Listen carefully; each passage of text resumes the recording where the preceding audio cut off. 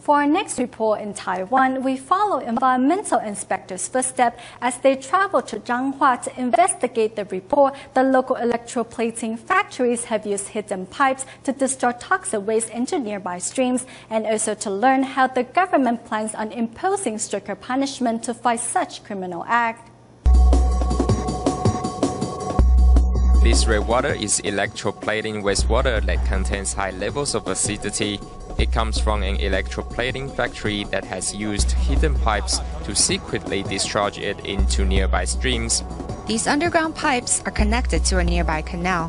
Digging out the cement, you will find a huge secret pipe through which the untreated wastewater is discharged into the nearby irrigation system. That irrigation canal is colored black, green, and red, all sorts of colors. Nearby farmland is barren and cannot grow any crops. Over the years, 10 electroplating factories in Changhua have secretly discharged heavy metals and cyanide into local water system. As the wastewater contains cyanide, comes acid and will produce hydrogen cyanide. The factories normally release the wastewater at midnight or on rainy days. Using radar, inspectors of the Environmental Bureau find the location of hidden pipes. Dozens of containers used to store hazardous substances were also discovered. If they were unable to discharge the toxic waste, they store it in containers instead. The toxic wastewater polluted 270 hectares of farmland. Underground water is used by farmers to irrigate their rice fields. However, we found the rice has been polluted by heavy metals, so we strongly suspect that the factories dumped their toxic waste into the underground water system. Environmental inspectors say if toxic waste are discharged into underground water networks, it is not only hard to trace the source of toxic substances, but also extremely hazardous to the biological ecosystem of the area.